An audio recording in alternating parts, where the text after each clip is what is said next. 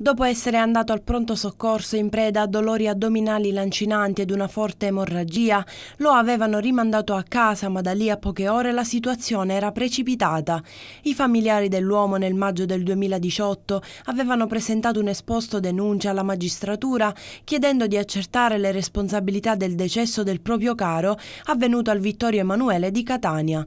L'uomo, a seguito di forti dolori addominali e un'emorragia, veniva soccorso con codice giallo per una rettoragia. Nonostante le diverse scariche anche durante la notte e il giorno seguente, inspiegabilmente veniva dimesso dal pronto soccorso dell'ospedale. Dopo essere rientrato a casa, l'uomo che continuava ad avere forti dolori addominali e problemi respiratori, a seguito di una folle corsa in ambulanza con codice rosso, arrivava in ospedale in arresto respiratorio e dopo alcune ore moriva sotto gli occhi dei medici. Per i consulenti della procura si tratta di un caso di mala sanità Infatti nella consulenza medico-legale disposta dal PM si legge trattandosi di un paziente anziano con insufficienza renale in trattamento dialitico, i sanitari avrebbero dovuto continuare il monitoraggio delle condizioni cliniche e le idonee terapie che il caso richiedeva. Sarebbe stato necessario ripetere immediatamente gli esami e chiedere una consulenza ematologica per valutare la somministrazione di vitamina K per via endovenosa,